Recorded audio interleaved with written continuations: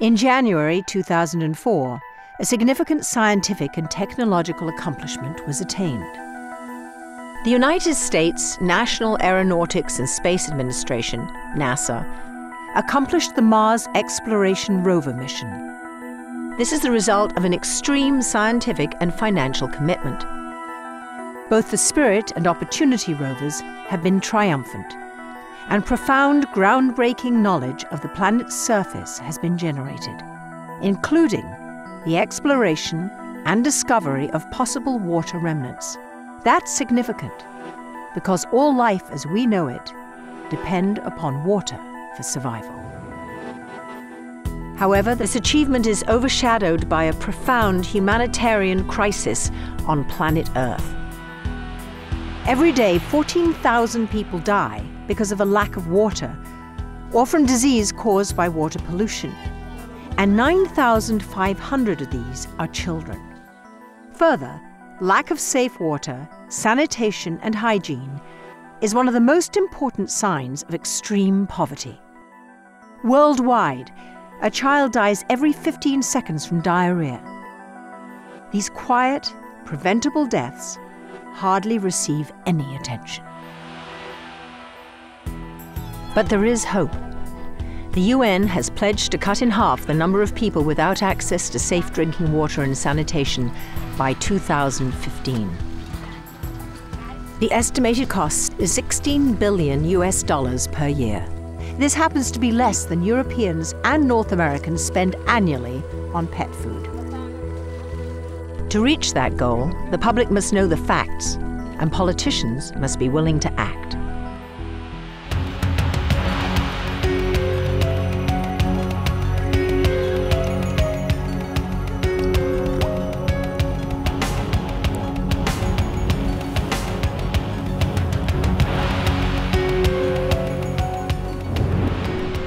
Living on 1% of the world's water, and most of that is used for agriculture. The other 99% of the world's water is too salty to drink or composed of icebergs and snow. Water is a very precious resource, yet we take clean water for granted in the West. But a quarter of the world's population urgently needs clean water.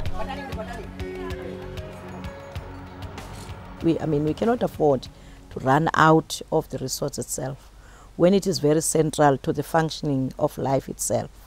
You know, sometimes governments have a tendency of treating the water services very trivially, and yet for me, they are the most important services central to basic human rights. So if we make sure that uh, we, we give water services, we are giving dignity to our people. By the year 2020, as many as 76 million people could die from polluted water. Most of them children. Diarrhea, schistosomiasis, guinea worm, cholera, dysentery. Uh, those are diseases that are fundamentally associated with our failure to provide clean drinking water and sanitation services. We know how to do that, but we've failed to do it for, for a very large percentage of, our, of the world's population. It has been projected that by the approaching year 2015, nearly half of the world's population, more than 3 billion people, will be in environments where the pure drinking water supply is stressed.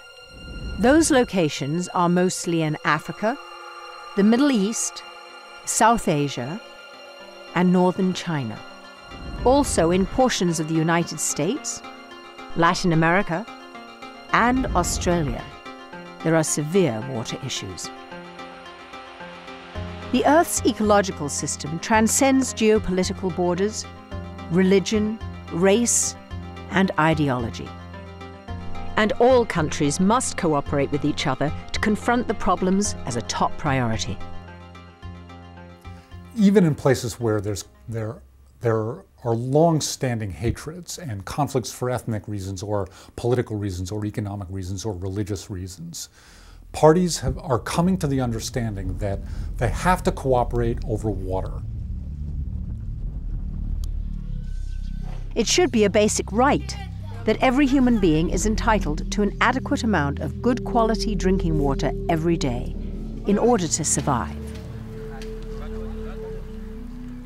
See, the water as a basic fundamental right and also a social good is something that was always accessible to people. But the moment we began with centralized management of this water, we forgot that each and every drop needs to be tapped. The world's population is growing fast and will grow by 50% in the next few generations. But humanity's use of water is growing even faster. In fact, twice as fast. In the future, there may not be enough water or food for that matter for everyone. So these countries face uh, terrible challenges in feeding their people and providing clean water to their people and providing decent habitat for their people as resource scarcities occur in the countryside, they move to urban centers. How are they going to be able to support municipal facilities that give any kind of decent uh, water treatment or uh, schooling or infrastructure in uh, urban areas. In developing countries, children cannot get a basic education because of a round the clock effort to find clean drinking water.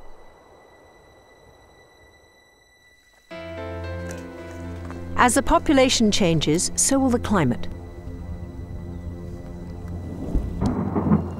Arguments about the extent of human responsibility for global climate change will continue.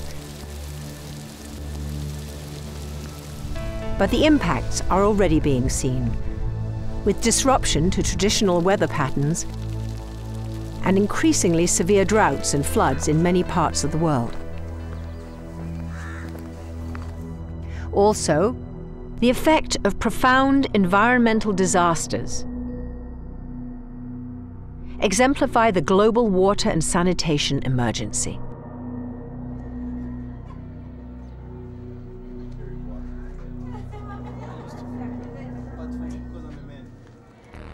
The humanitarian water crisis has generated geopolitical concerns within the United States intelligence services. They have predicted that within the first 15 years of this century, regional armed conflicts could evolve because of the local lack of adequate safe water. We are now in that window of time. There are, what, somewhere around 250 rivers in the world that um, run through two or more countries. And 90% of the water in the Middle East flows through two or more countries. I mean, these are very important political phenomena. And while there's lots of conflict over water within countries, what we're talking about now, the sort of interstate regional conflict potential, is um, significant.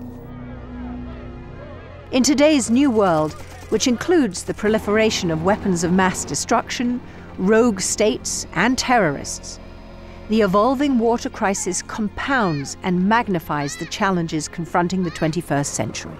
The seeds of terrorism evolve from the global humanitarian crisis. And you cannot overcome terror just by military means. You have to fight not only terror, but also the reasons for terror, the motives for it.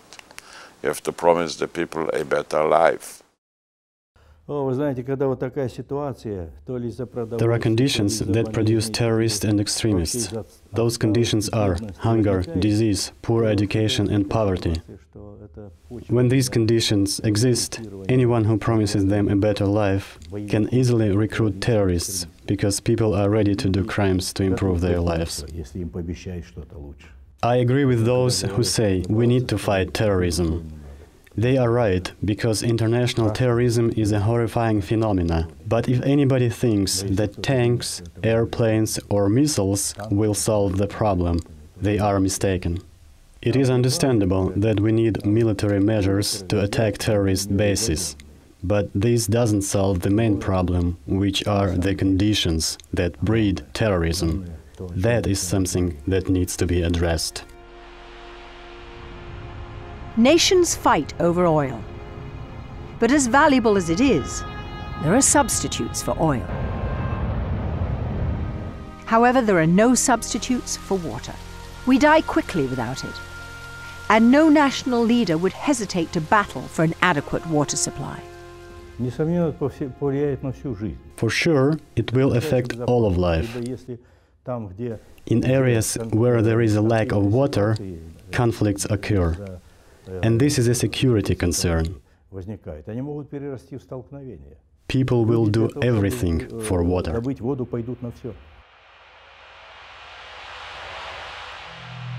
China's population is 1.3 billion, which is confined to an area nearly the same size as the United States. China has 22% of the world's population and only 7% of the world's fresh water. Wars, turbulence and violence, which have prevailed in China during the past two centuries, have faded into a new and complicated era. China's effort to become an economic and industrial power has been at the expense of the environment.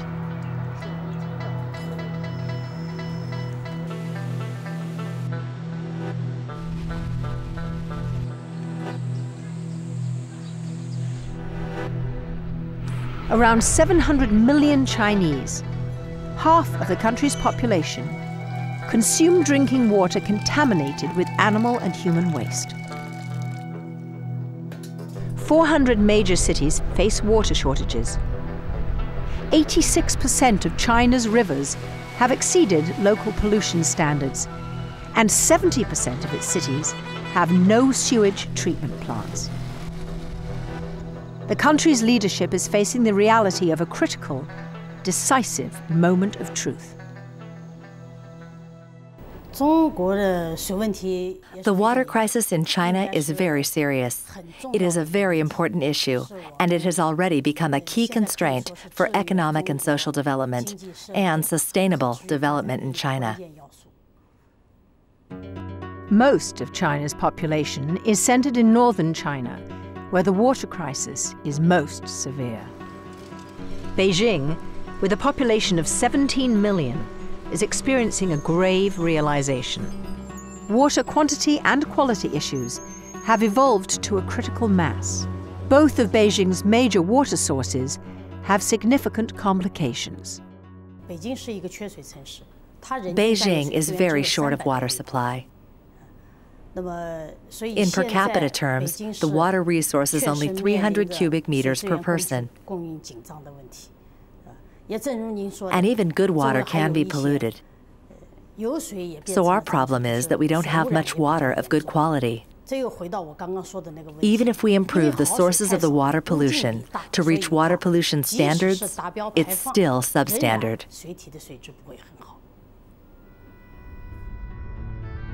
Since the 1970s, the Guanting Reservoir was a major source of drinking water for Beijing.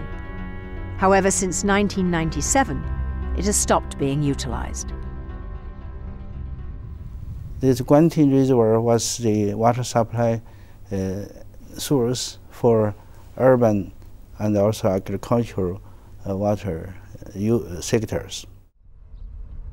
Because of the uh, pollutants uh, from the upstream agricultural field and uh, from some, some, some, industrial area, now the, the Reservoir is polluted, with polluting in a very severe situation.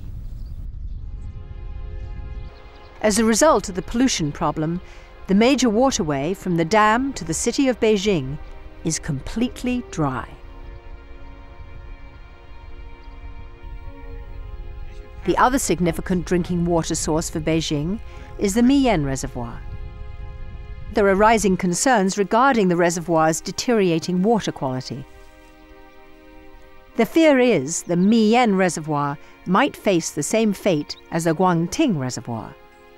The cause of the pollution is human waste and agricultural runoff, which includes fertilizers and pesticides.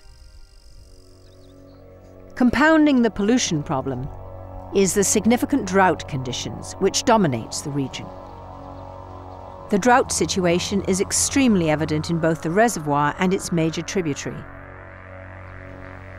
Beneath the shadow of China's Great Wall and the Yen Mountain Range lies the Chaobai River, the major tributary of the Miyun Reservoir.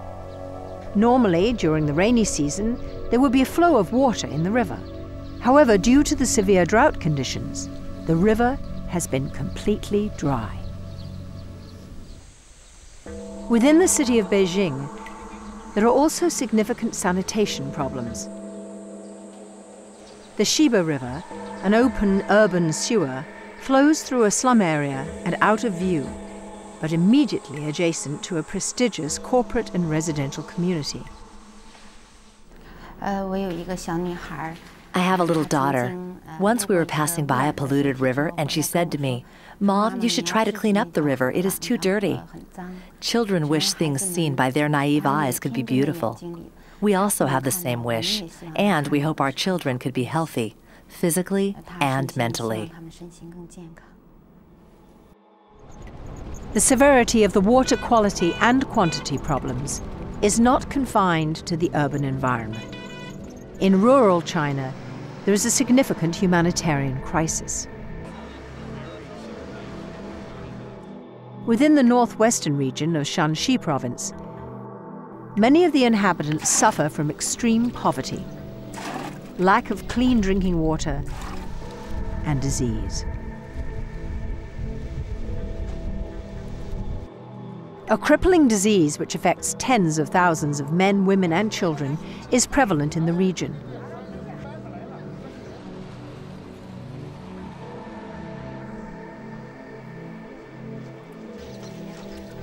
The common symptoms are disfigurement and discoloring of the teeth.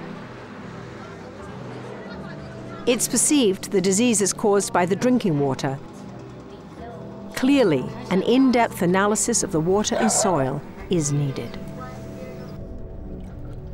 Often, children acquire the disease by drinking rainwater after it saturates the earth.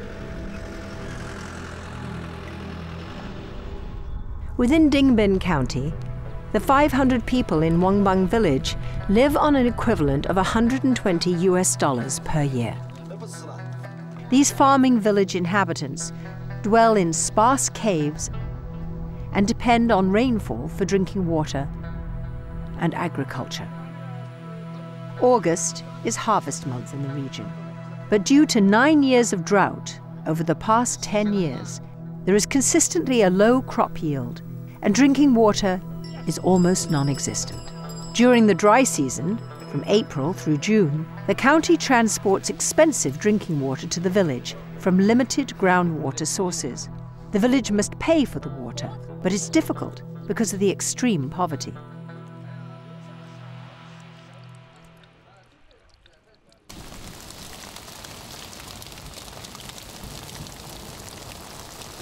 When there is a rare rainfall, it's a reason for rejoicing and productivity.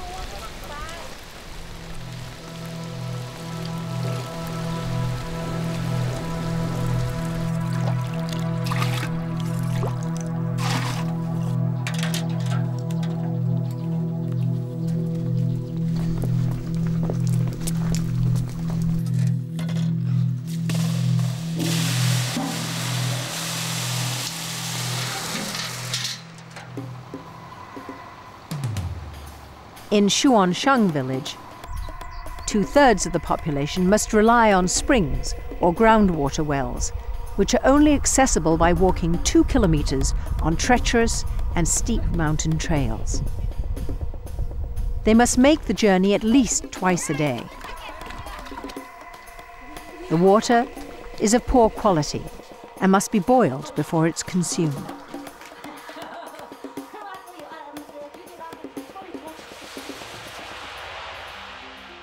Majestic Yellow River is considered one of the great rivers of the world. Unfortunately, today, there is a significant lack of flow in the river because of the drought and diversion for irrigation and city industrial use. The impact has been profound. There is an old Chinese saying water of the Yellow River comes from heaven and then flows into the sea, never back.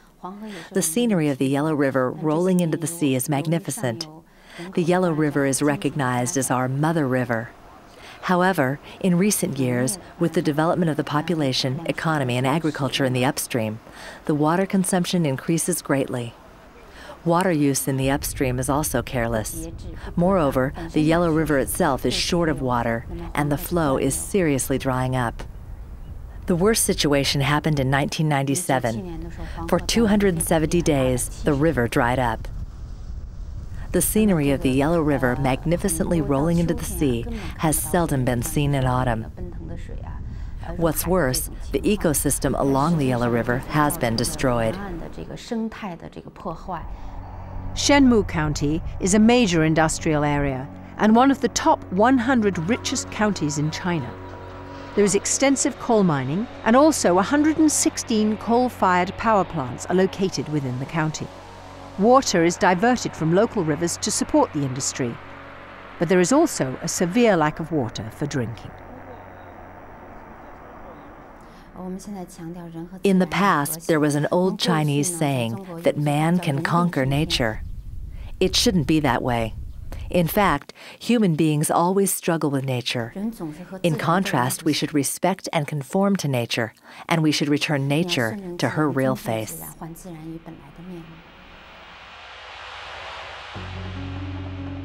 It's important not to fall into a trap of believing the answer to the looming water crisis lies solely in complex and expensive engineering solutions. Water resources have been exploited with little or no consideration for sustainability or to environmental consequences. The most tragic example is the Aral Sea, located within the former Soviet Union, once the world's fourth largest inland sea. In the 1950s, the Soviet Union diverted large parts of the two rivers that feed the Aral, the Amu Darya and the Syr Darya, to irrigate cotton crops in the near desert environment of Central Asia.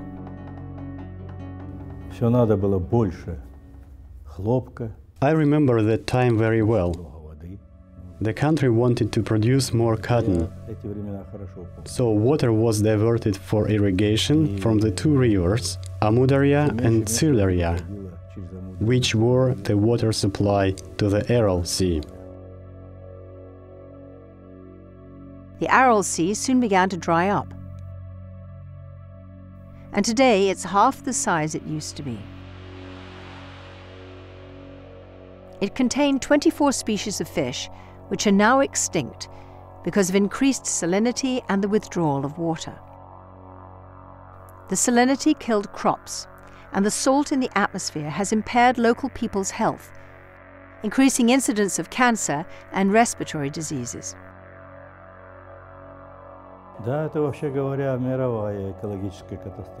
This is not just a regional problem. It is an example of a global ecological catastrophe. There are numerous gigantic engineering projects being considered redirecting many of the rivers, lakes, and oceans of the world. Replumbing the planet needs significant environmental evaluation.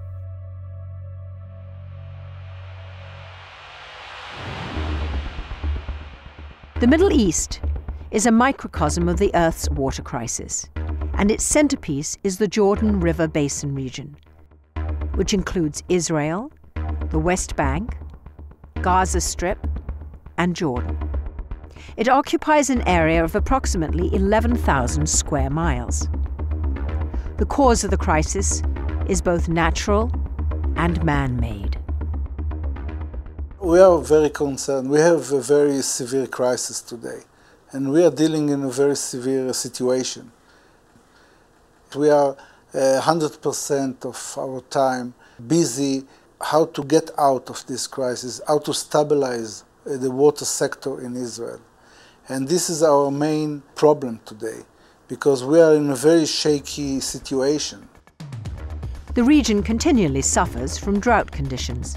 There has been a significant increase in demand for water caused by population growth, which has led to overutilization of water sources And it is feared that shortly it may be difficult to adequately supply municipal and household water requirements.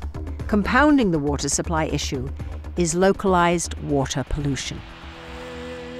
The Holy Land, as this region is often called, has global significance because it is a nucleus for religion.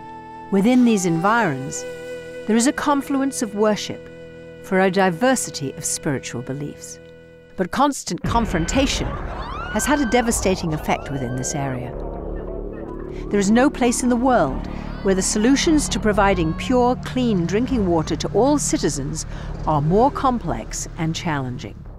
Historically speaking, land is war and water is peace. You cannot change the land. You can fight for it, defend it, extend it. With water you can make policies because water is floating, it's mobile, you can transfer it, which you cannot do with land. There is enough water in the Middle East, but there is not enough peace to make a good use of the water. The primary sources of water within the area are the mountain and coastal aquifers and the most consequential river in the world, the Jordan. Today, raw, untreated sewage from uncontrolled development is flowing into the Jordan.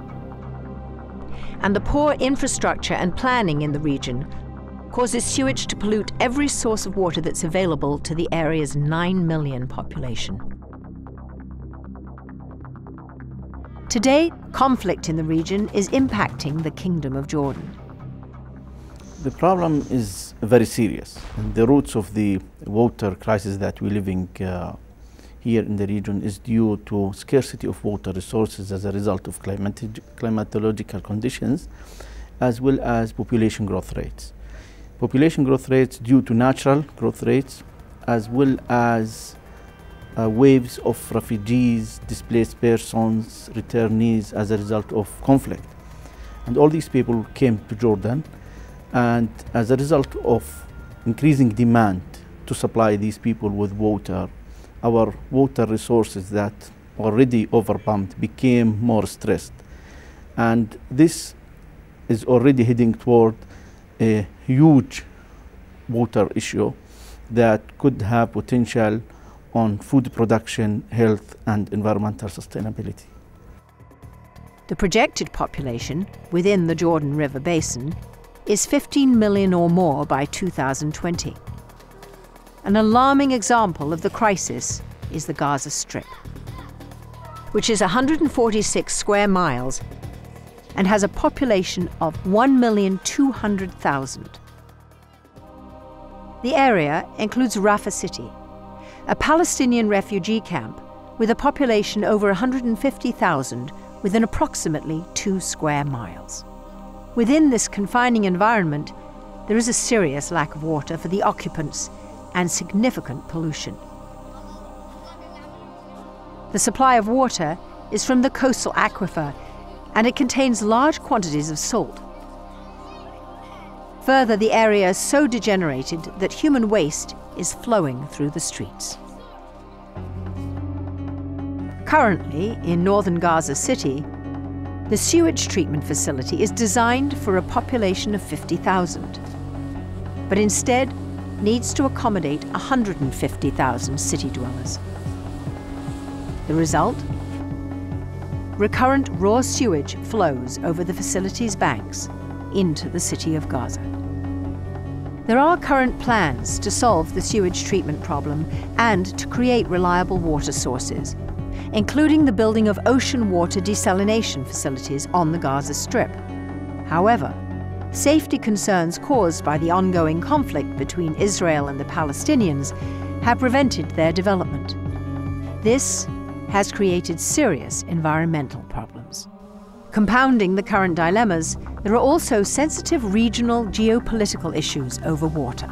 A case in point is the Wazani, a spring on the Lebanon side of the border with Israel, which flows into the Hasbani River and is a tributary to the Jordan River and the Sea of Galilee. Significant tensions have occurred between the two countries because Lebanon implemented a project which diverts a portion of the spring to 20 villages in South Lebanon. Israel indicated this diversion is compromising its water supply and has threatened military action. In Lebanon, the Hezbollah party also made ominous declarations over the issue. Transcending the current regional conflicts, it is widely believed by a diversity of entities that water can be a bridge to peace in the Middle East and other parts of the world. And I think that uh, the, the most important thing in order to solve the problem in this region is first of all the, the, the cooperation between the countries and second is to to take the arguments out of the question uh, about the, uh, the existing water resources. This continuous need for water, both under violence, under fire, or under peace, it means that the two parties, the Israelis and the Palestinians, should isolate the water oceans from any negative impact from the violence, existing violence. And I think if the Palestinians and Israelis will succeed in managing the issues of water, there will the other issues will follow them. The water problem, if we succeed in solving, refugees will follow, borders will follow, security will follow. This will lead to the same point. It is a political point and the violence should stop and peace should come. Otherwise, every activity will collapse, water and sewage and economy and health. Africa is the second largest continent and covers one fifth of the total land surface of the globe.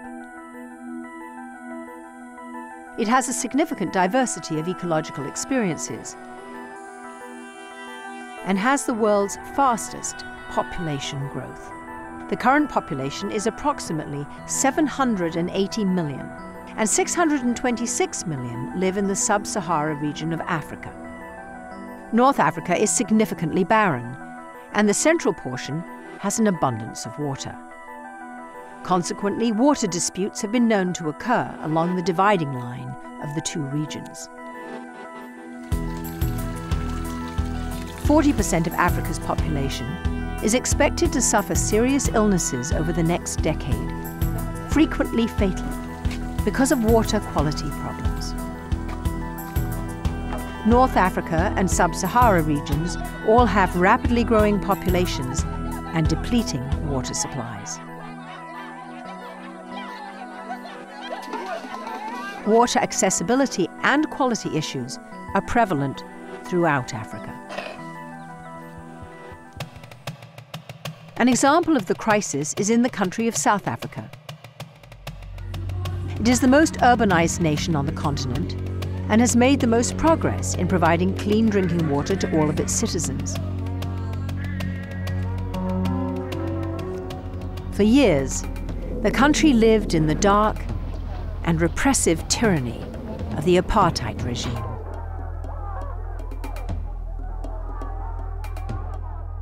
In 1994, South Africa emerged with the creation of a democratic government and a new constitution. It specifically guarantees everyone the right to an environment that is not harmful to their health or well-being and access to sufficient food and water. We had people who were invisible in South Africa.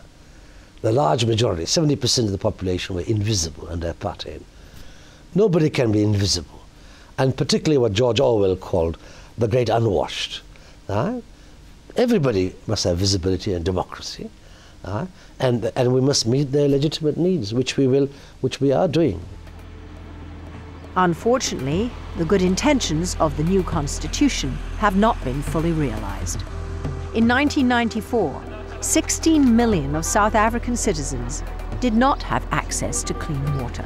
A national effort has resulted in reducing the crisis significantly. However, there are still major problems.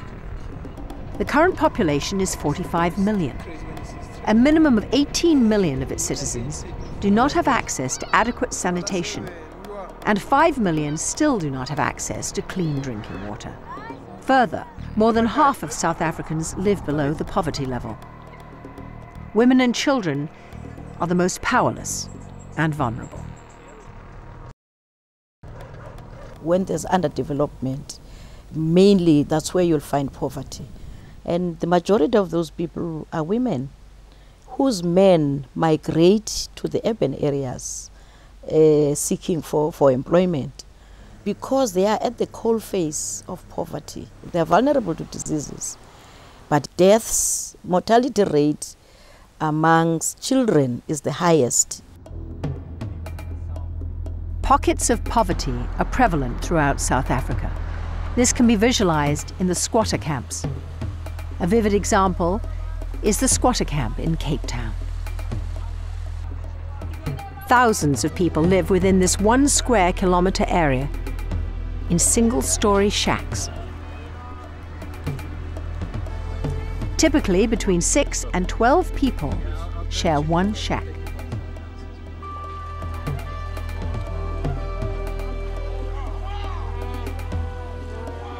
Within this environment, conditions are so bleak that accidental fires occur frequently.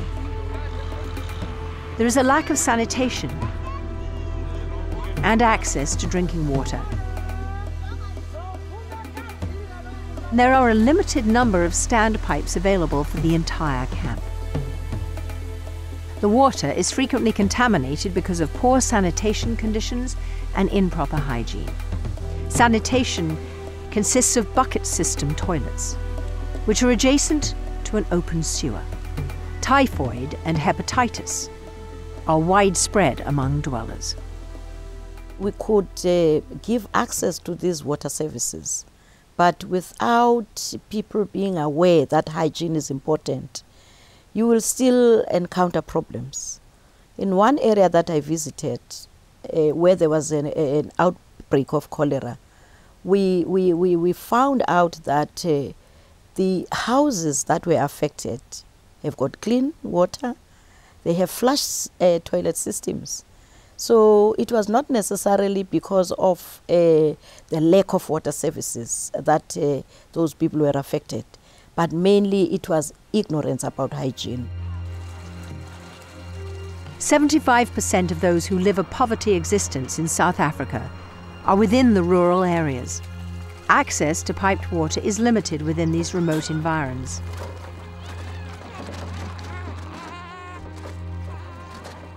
In the Mpumalanga province, the Megwe stream flows through the village of Lehawa.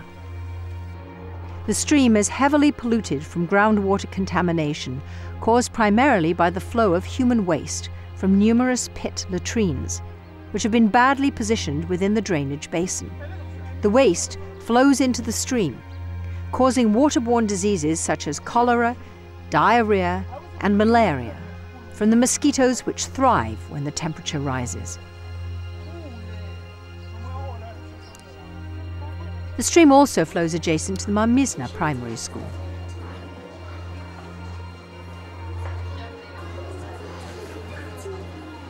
Often the school runs out of its supply of drinking water. And a number of the 1,000 children within the school will drink directly from the stream. Also, frequently, women from the village draw their drinking water from the stream. Unfortunately, this village is one of many which have similar issues.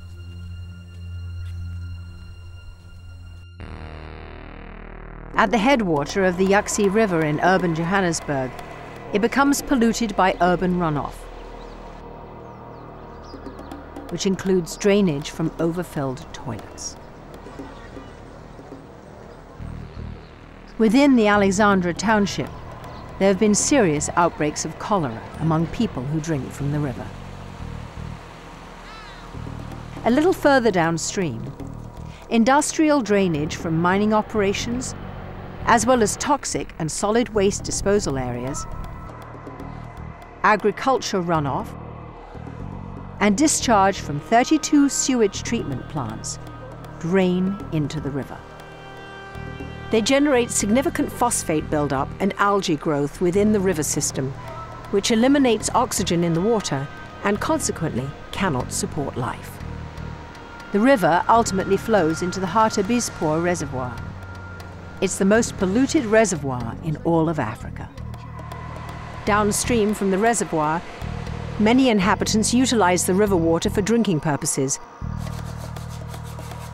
which undermines their health and well-being. The lack of water, of course, has a huge uh, effect on child health care. Uh, we mustn't forget that. That if you, the water provisioning will lead immediately to an improvement in uh, the health of children uh, and, of course, very important, uh, the lifespan of people in Africa. The challenge is the whole issue of water availability. In Africa, we have quite a lot of water, but it's not always where we need it. We have a huge amount of water in the Democratic Republic of the Congo, for example, uh, enough to supply the entire continent, but it's far away.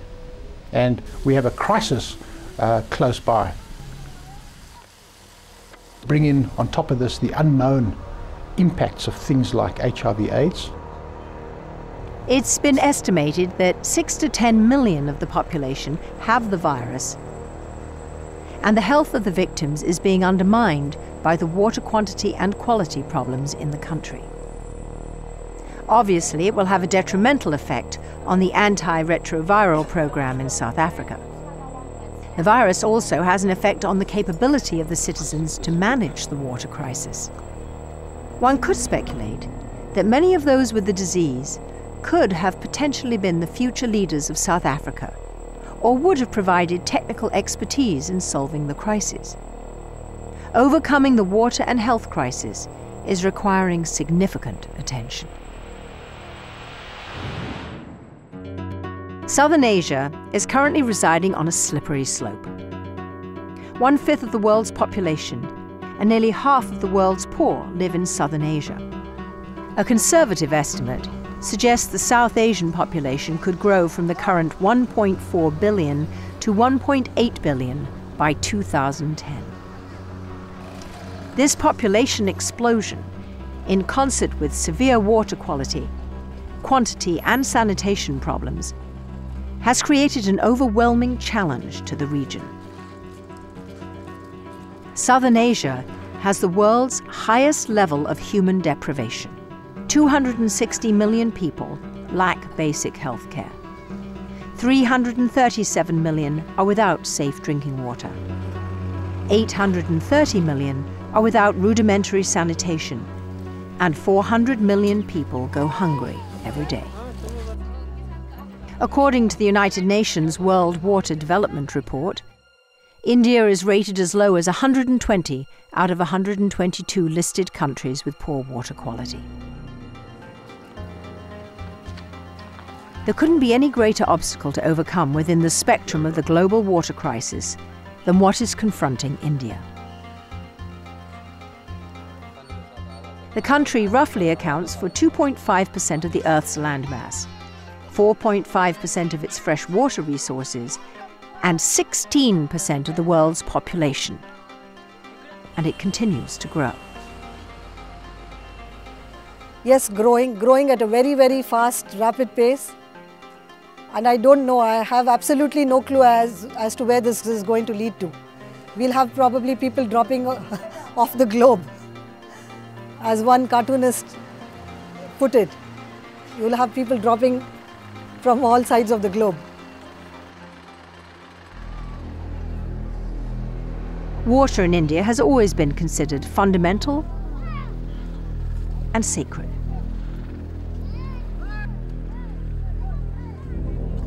It's used for bathing, washing clothes, obtaining sustenance, spirituality, and for leisure.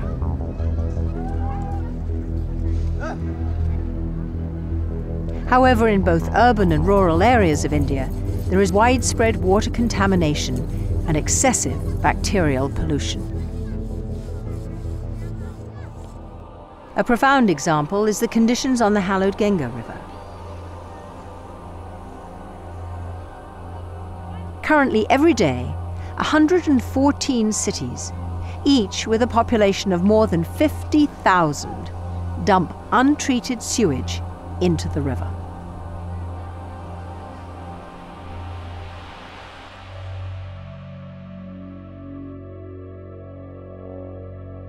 In the Dhulai district, this open sewer flows through the Dondaicha village, which demonstrates the pollution problems which prevails in rural India. The sewer connects with a stream that is used by the village.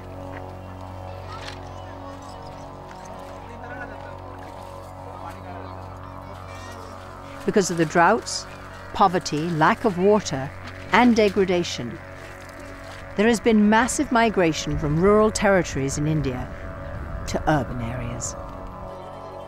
These migrants dream of job opportunities and a better life, but instead, they're consumed with a living nightmare.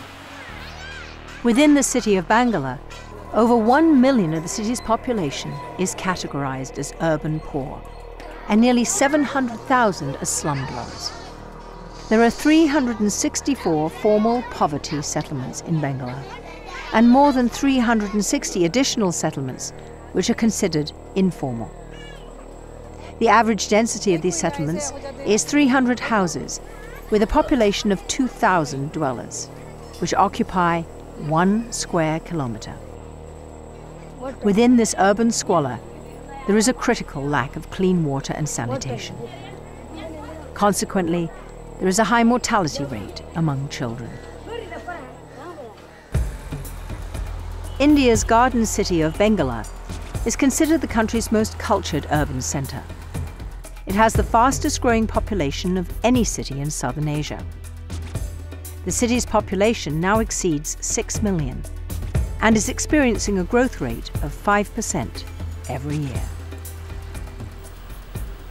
Now, if the city continues to grow at the rate at which it has in the past decade and the decade before that, I'm sure we will have a lot of problems unless we are in a position to recycle the water in a very big way. Uh, we have about eight urban local bodies around Bangalore they are the growth centers because Bangalore is fully choked up now. There's hardly any potential for further growth. Now, these eight urban local bodies which are around Bangalore, they are going to be attracting a lot of development, lot of growth, both in terms of manpower and in terms of resources in the years to come.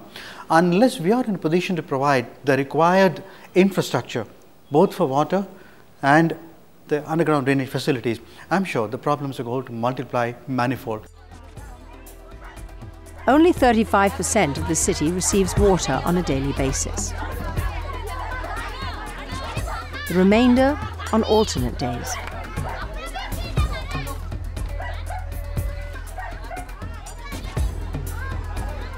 Moreover, 40% of the city is not covered by underground drainage systems, which implies sewage goes untreated. A large settlement located on the outskirts of Bangalore has severe problems. It has 1,200 houses with a population of 7,000 within one square kilometre. The community must rely on groundwater which is contaminated. As a result, pestilence is prevalent. Uh, we have a community over here which is deprived of uh, basic amenities, both water supply and uh, sanitary facilities. Sanitation is a very, very big uh, problem here. You can see that there is absolutely no sanitation arrangement. This toilet is probably discharging directly into this open drain. Uh, and every home has a toilet. And we have probably um, a number of toilets along this route which directly discharge into drains like this. And these are clean, uh, cleaned by the municipality maybe uh, just once in a while. So all the time there is a lot of uh, dirt, there is a lot of uh, waste in all these surface drains. And over the past few years, groundwater has reached such a depth that even when you dig 850 feet, you're still not sure of getting water. And the water in every, in all possibility is uh, contaminated because there is no proper underground drainage system here. So fecal matter may get into the groundwater and there is every likelihood that people may be drinking this contaminated water. And uh, we have uh, diseases which are mo mostly associated with uh, water, water infections. Most common amongst them is the diarrheal diseases. The diarrheal diseases, we have dysentery, cholera, then uh, we have bacterial infections. These are most likely to be found here. Also typhoid. Our focus needs to be, uh, you know, very clear and uh, driven just by, uh, by the fact that people are living in such uh, inhuman conditions and we must do whatever is needed in the least possible time, as quickly as possible.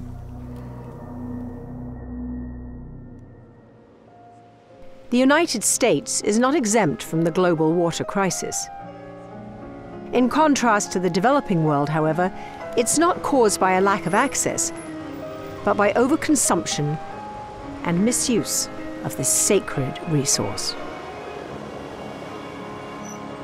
The American public in particular, but I think this is true of, of many developed nations, takes for granted the water that they get. Um, the vast majority of Americans turns on their tap, beautiful crystal clear water comes out, and they drink it without a second's thought. And, and that's a luxury that not everybody in this world has, unfortunately. Along with that uh, comes a little bit of a disconnect about where that water comes from, how it gets to them, um, how it's treated when it gets there, and what happens to it when it leaves their house. There is a lack of understanding. There's also an expectation that the water is plentiful, that it will always come, and that it will be inexpensive.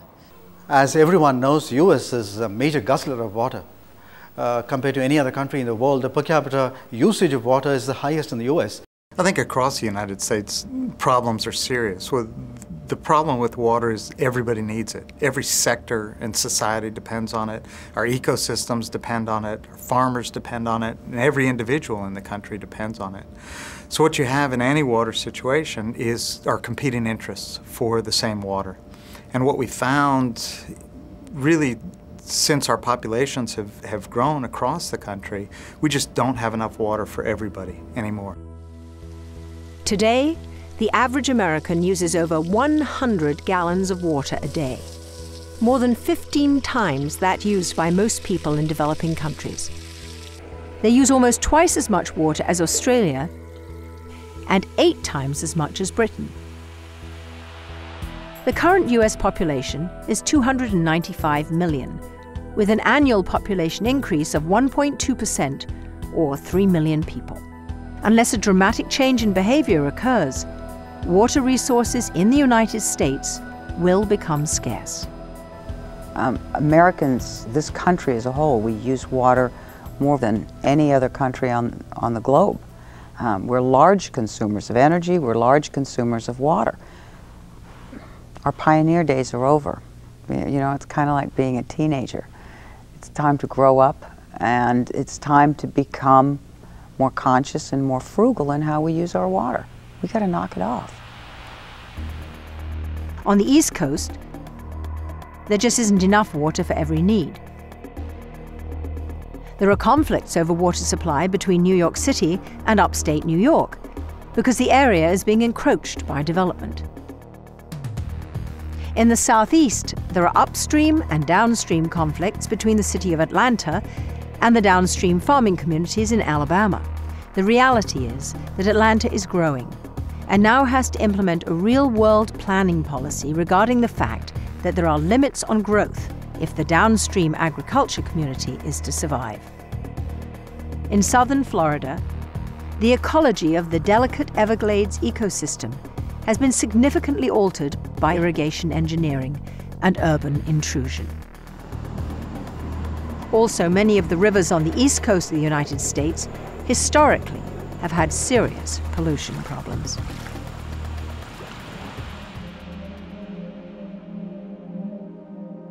In the American Southwest, population growth has significantly outstripped the capability to store water. Filling swimming pools, car washing, and watering lawns may soon be a luxury of the past. I think the, the real message is we can't keep doing things the way we've always done it. We can't get water to everybody that needs it. We can't keep growing crops inefficiently. We can't keep uh, building industry everywhere we want it. And we can't keep growing our lifestyles in a way that, that uses water uh, in greater and greater volumes. That's, that's the critical message all that means is that we have to start treating water the way we should have been treating it from the beginning, as a scarce, limited resource. In the late 19th century, when the American West was being settled, much of the land was desert or semi desert. But instead of the settlers adapting to their new environment, the government subdued the land by building a series of gigantic dams and water diversion projects, and siphoned water from the Colorado and other rivers, and also tapped groundwater resources in order to make the way for significant urban development. The result was a profound alteration of the ecology, which has included degrading or destroying much of California wetlands. In Southern California, as much as 95% of the original wetlands are gone. Throughout the 20th and into the 21st century, the thirst for water has increased significantly. Within the American Southwest, there is no greater example of altering the ecological system than what's occurred along the lower reaches of the Colorado River. I mean, if you've ever traveled the whole basin, the natural stunning beauty of the upper basin and the tributaries to the Colorado is breathtaking.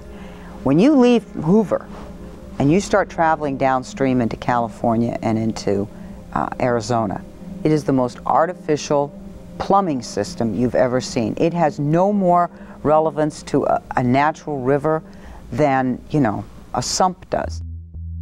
The Colorado River tumbles over 1,400 miles and travels through the southwestern US and Mexico before it theoretically reaches the Sea of Cortez. The river, the prime water source for Southern California, is so completely tapped by seven states that it rarely reaches the sea. The states continue to argue about how they are going to allocate the river's yield.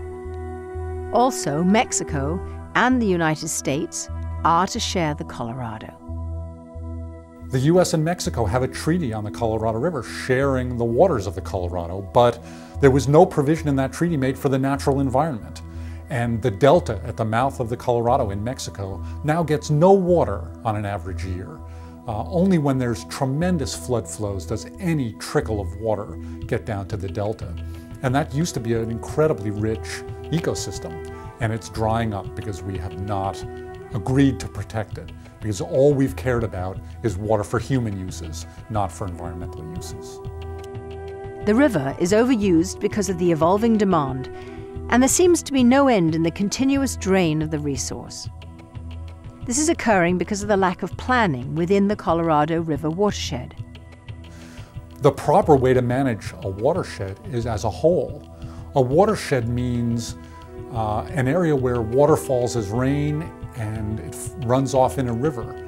Uh, but we don't draw our political boundaries based on watershed boundaries. It, it's too bad, but we don't.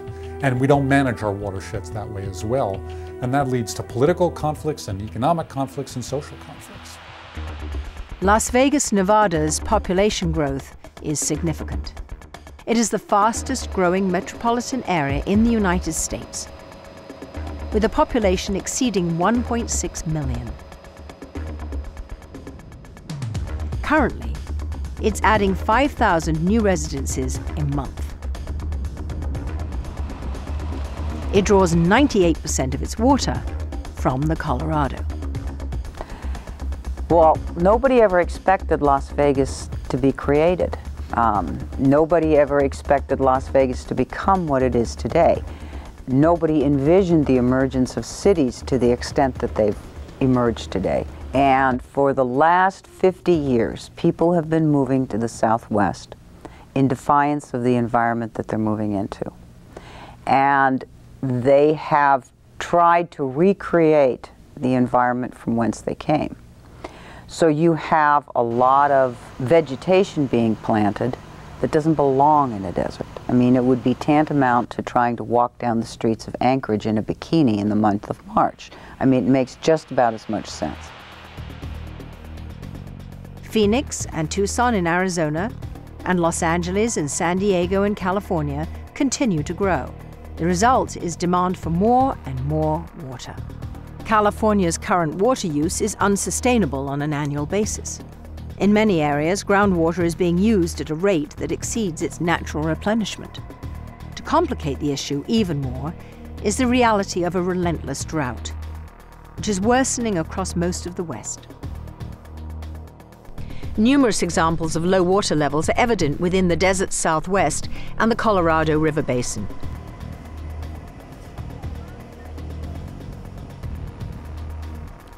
Water supplies are also being contaminated by both man-made and natural hazardous substances, including industrial waste, pesticides, urban runoff, and microscopic organisms. The greatest threat is runoff from agricultural fields, construction sites, city streets, and abandoned mines. Controlling development is difficult because strong regulatory measures and political will is significantly lacking in order to combat ecological threats. We have engineered our way out of nature. That's the way they, the last generation felt about it. When you build those monoliths, Glen Canyon Dam and Hoover Dam, and you create artificial lakes like Powell and Mead, your sense of overcoming and you know, containing and managing Mother Nature becomes enormous. And so we've been so successful in forcing Mother Nature to do what we want that we've lost respect for it.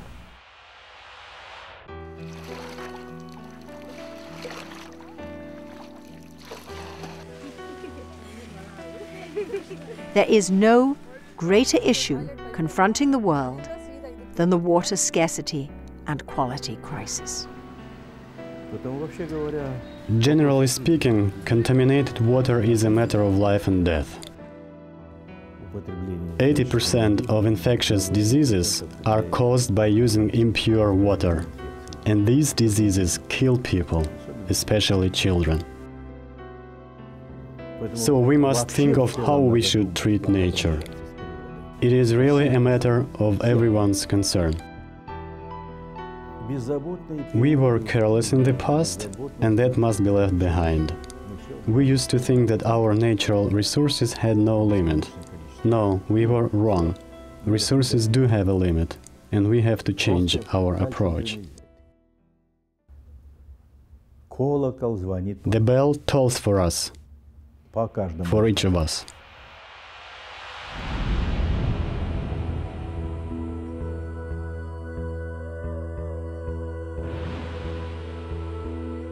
Most of the water crisis issues can be solved by a coordinated, global, environmentally sensitive humanitarian effort. The implementation process can be established by using affordable and practical solutions. It costs less than $25 to provide someone with a lasting supply of clean water and sanitation. All over the world, there are examples to show the strength and sustainability of community-led projects. It is possible to build on their success to make safe water and sanitation available to millions more, but this requires political will. Many organizations may have a role to play in scaling up the solutions.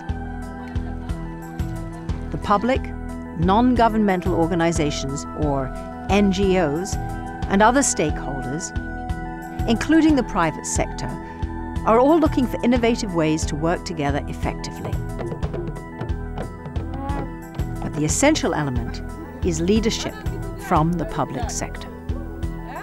And of course, the public sector would need a lot of support from the private sector, from NGOs, from communities themselves. And unless and until the communities are a part of their own development, I don't think we could achieve anything. Comprehensive environmental land use planning is rare in deciding public works projects and overall water decision making. But it's essential in order to assure rational and decisive determinations on ecological issues. I think the importance of looking at water resources both as a limited resource but also as part of a system is really important.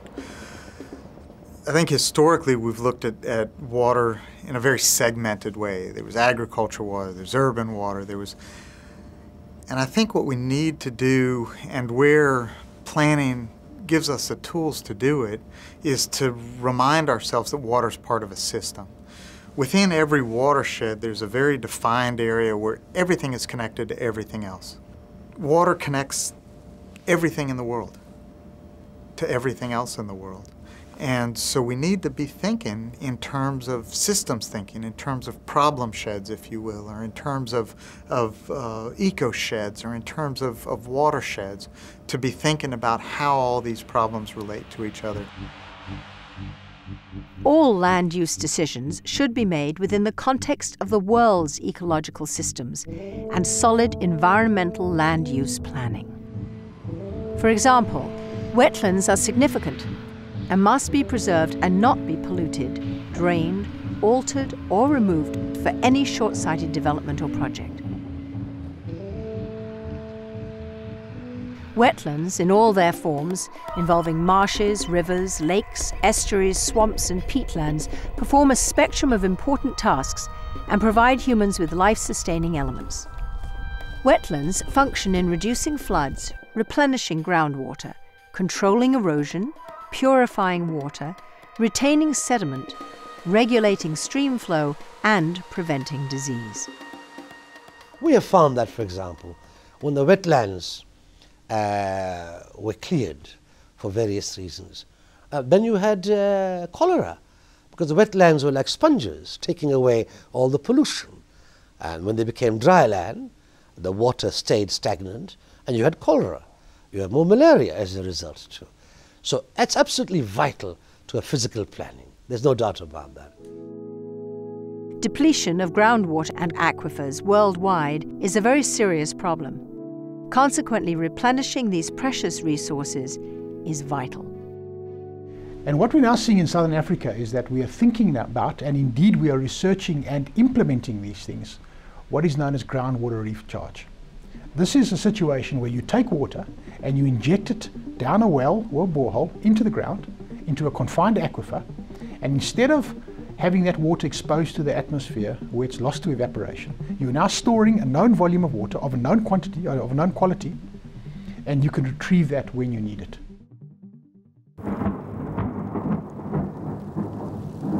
Rainwater harvesting is also essential. A significant amount of water needs could be met worldwide through conserving maximum rainwater and recharging groundwater. In India, a major amount of precipitation occurs all over the country in a matter of a few days during the year, identified as the monsoon seasons. In Rajasthan, 1,500 villages with populations of 1,000 to 1,500 obtain clean drinking water as a result of a community-wide project. It involves finding and reopening natural underground storage areas or creating new ones. Furthermore, they build rainwater collection reservoirs that recharge water into the groundwater systems. The excess water is used for irrigation and other domestic purposes. The structures also offer protection from floods. As a result, the villagers have escaped the effects of a five-year drought and have year-round drinking water.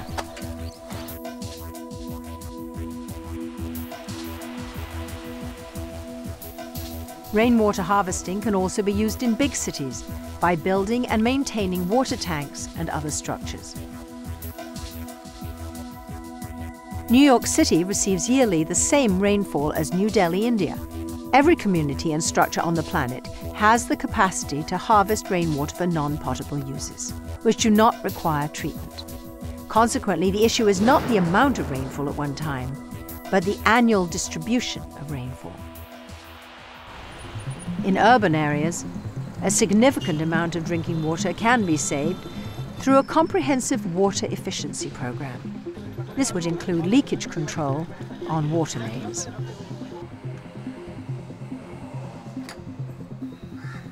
There is new technology which can identify leaks in the water systems.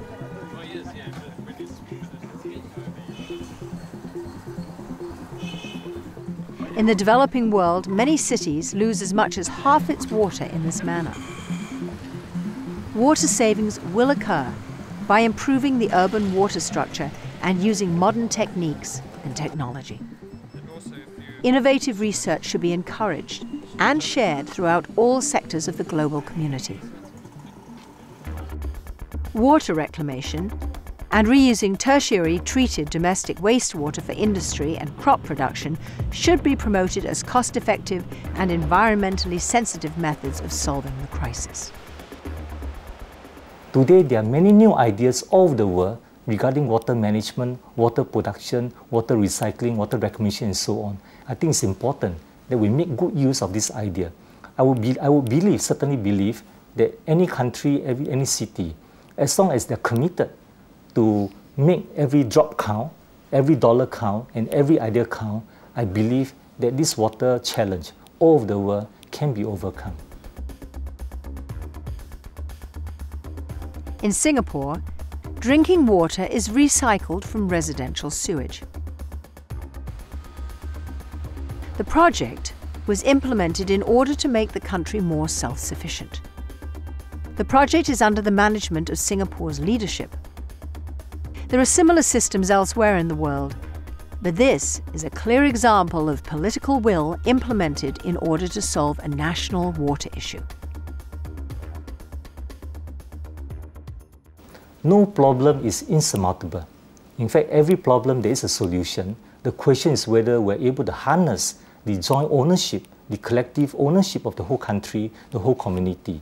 And I would say that Newater is an excellent example of how the nation, all the way from prime minister to the main industry, how we're able to work together as one united people to overcome uh, this, uh, this uh, water challenge. And I believe, I believe that all over the world, every city, every country, as long as they're able to work together, we can truly overcome this water divide as a global community so that hopefully all this projection, all this prediction about a growing number of people over the world facing water shortage in the future, hopefully it will not come true. Globally, more than twice as much water is used for agriculture than any other purpose. Further, the need to feed the growing population will compound the demand.